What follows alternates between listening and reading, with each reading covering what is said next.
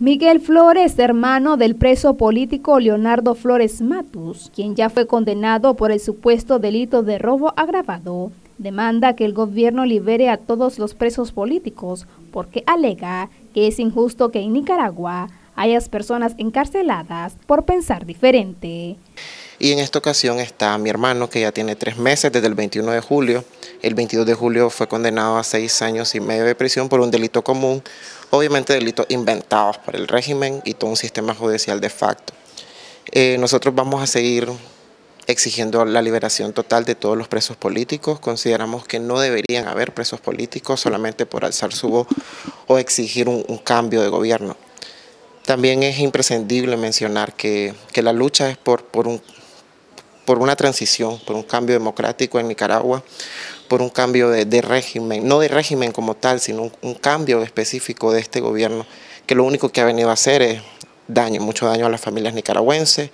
Eh, mi hermano, por ejemplo, era trabajador de una empresa de seguridad y saliendo de su trabajo lo apresaron junto a su amigo solo por llevar víveres a, a Masaya y participar en muchas de las marchas. Miguel Flores, quien de igual forma pertenece al movimiento 19 de abril, demandó al gobierno reanudar las negociaciones con la Alianza Cívica. Y, la crisis que, está pasando en Nicaragua es algo que debería terminar, debería terminar y ante un eventual proceso de negociación creo que lo principal sería eh, eh, negociar una salida pronta del régimen, elecciones adelantadas, reformas electorales para que podamos tener garantías, porque solamente así podemos asegurarnos de que nuestros presos sean liberados.